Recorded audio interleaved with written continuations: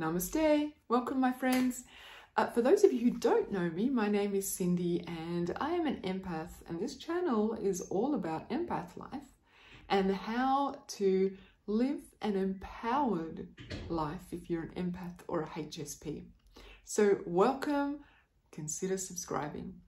And for those of you who already know me, welcome back. so, at the end of last year, 2021, I started doing reviews on books. Remember that? And um, I stopped. But this is, I did promise you three, uh, three videos about the best books of 2021. Uh, well, it was actually the books that changed my life in 2021. So um, I'm a woman of my word. And this is the final video. There are two books, two books in this one. Okay, so um, let me start with this one, The Untethered Soul. Now, this book, this book is, um, no, it's amazing. So basically, this book talks about um, how we are not our thoughts. You may have heard that before. How we are not our thoughts. We are actually gods, believe it or not. We are actually source. We are, whatever you want to call it, the divine source, the universe, God, that pure consciousness, that creator of all things. We are a fragment of that, having a human experience. So we are act, which means it's so mind-boggling. It means that we are all connected to each other. We are connected to every single living thing. But the thing is, we all have these different life experiences, and we are conditioned to believe certain things about certain happenings. Some of us believe that uh, one thing is good, while other people believe that that same thing is bad. And that has, all come about from our conditioning.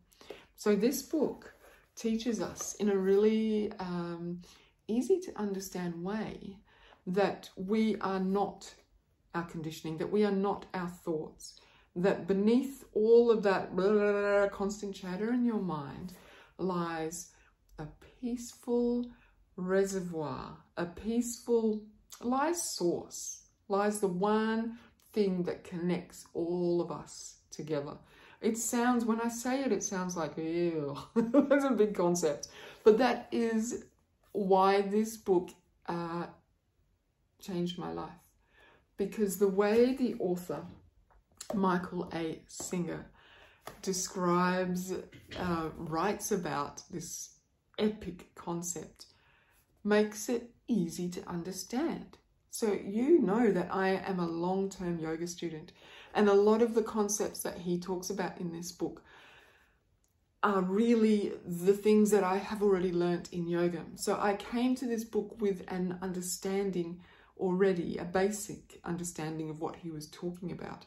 But he explains it in a way, these deep Eastern philosophies, in a very Western way, so that our Western minds can grasp it. So I am forever indebted to this book and this author because he made something that I kind of understood in theory, something that dropped into my heart and that I fully understand.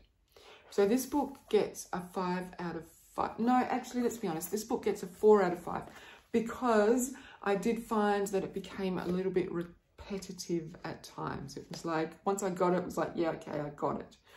But if you don't have the years of yoga training that I have, it may not be as repetitive for you. So absolutely, if you're looking for um, a way to understand yourself better, and to move beyond um, living in your thoughts and being reactive to the circumstances of your life, then I recommend this amazing book, The Untethered Soul by Michael A. Singer, The Journey Beyond Yourself. Great.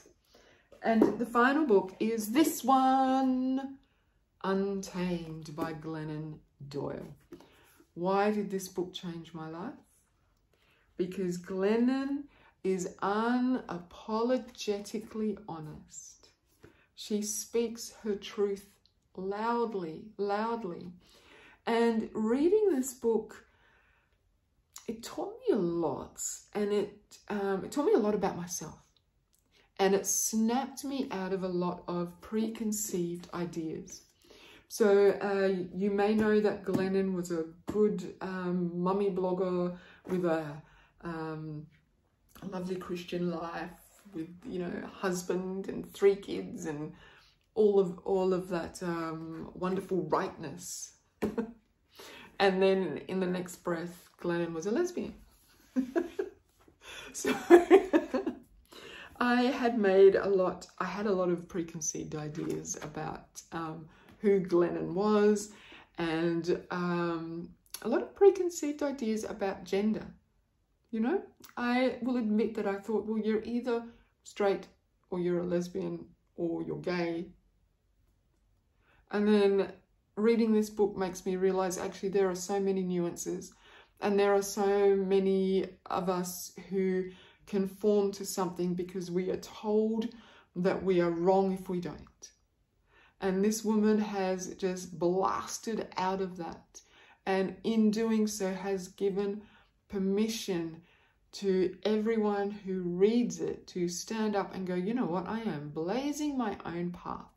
And that is why this book makes my books that changed my life in 2021 list. Uh, she is a hero for being so brave and just speaking her truth. I can only imagine the abuse that she has received because of this. I'm sure it hasn't been all uh, flowers and joy and, and um, sweet things. but still she has um, been honest. And I think if more of us lived an honest, vulnerable life, she's made herself so vulnerable in this book. Uh, if we make ourselves, if we allow ourselves to be vulnerable, life is more honest.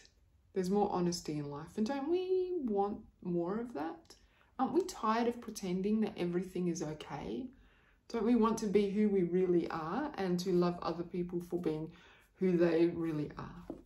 So, interestingly, both of these books are about letting go of preconceived ideas, letting go of conditioning, and being uh, who we think we should be as opposed to who we really are, finding our true nature. Beautiful. All right, I finished the series, and now on to what I'm reading in 2022. Hopefully, they will be as great, as life changing as the books I read in 2021. I hope you enjoyed that. If you're into books and you want to read more books that will um, empower you as an empath, uh, subscribe. All right, speak with you in the next video. Namaste.